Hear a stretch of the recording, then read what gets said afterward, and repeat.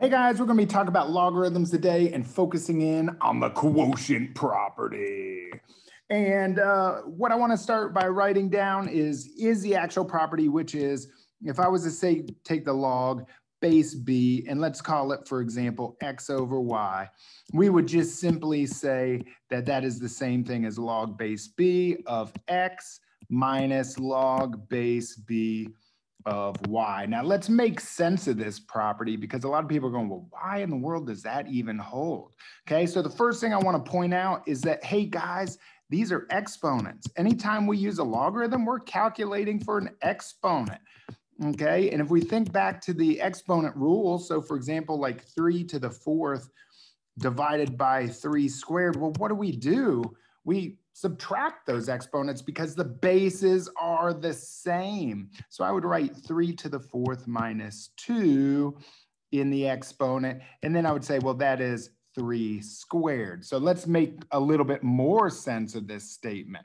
So let's take and write log. I'm going to make up a problem here. Let's look at log base 3 81 over 9. Now you're wondering, did you just make that up? No, I didn't. Because 81 is simply 3 to the fourth power. And 3 squared is 9. Okay, so let's go and just type this in just for the heck of it over in Desmos. Hey, boom, log base 3, 81 over 9. It's a value of 2.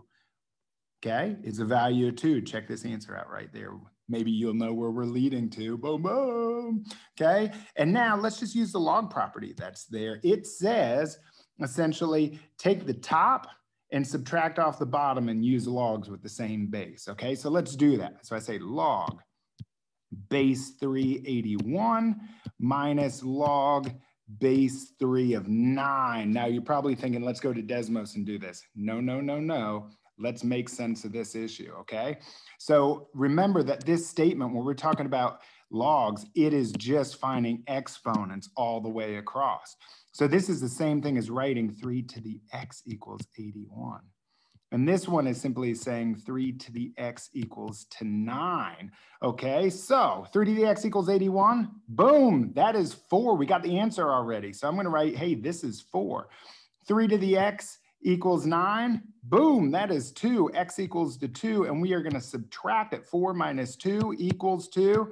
Guess what? You're right. It is equal to 2. We know that. So we just proved to ourselves, hey, all we got to do with log properties is take the log at the top and subtract off the log at the bottom, and we keep the same base. Those are called numerators and denominators. I know that. Okay, so now let's go ahead and just do a quick problem let's say I wanted to find an expand, expand uh, the log base four, six over 11. Well, that's nice and easy. I just say, hey guys, that is the same thing as log base four, six minus log base four, 11.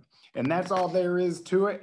The quotient property of logarithms is pretty straightforward. You can do it. Just keep it up. You guys are doing great. It's a beautiful day for math.